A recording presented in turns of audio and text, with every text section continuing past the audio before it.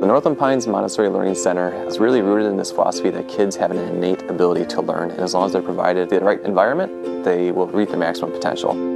Montessori is an education that teaches the whole child. The students drive your instruction. You are a facilitator to their education.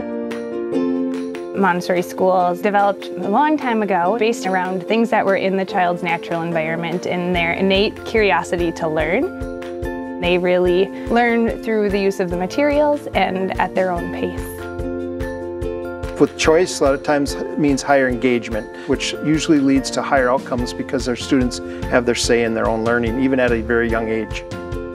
The teaching staff, they just really want to see your kids grow and learn within the school district. All of the teachers in the Montessori learning environment are actually trained and certified Montessori teachers. They are constantly checking in with assessments, and wherever they have gaps, the teachers work with the kids to make sure that they fill those gaps. It's great because it allows the teachers to make sure that the needs of all the kids are really met. They just head off for a break and uh, they were like, two more days till we go back to school. I'm like, don't you like being home with mom? And they just really love coming here. Miss Hoffman is nice and kind.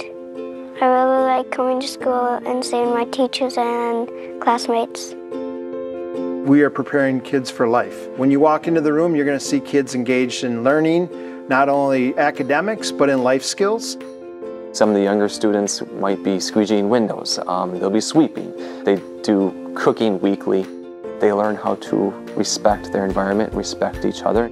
I love the hands-on learning. Carter comes home and is excited about what he learned. These students are ready to live in the 21st century and be future learners and continue to grow, and Montessori plays a large role in that.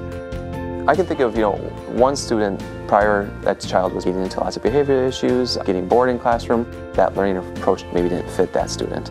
When that child came to the Montessori Learning Center, he no longer had behavioral problems. He was doing extremely well academically. Now he's doing tremendously.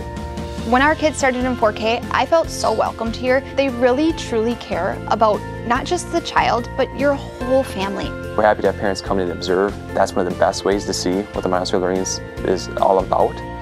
Just to get in there is just a great way to experience and decide if this is truly a program for your child to go into.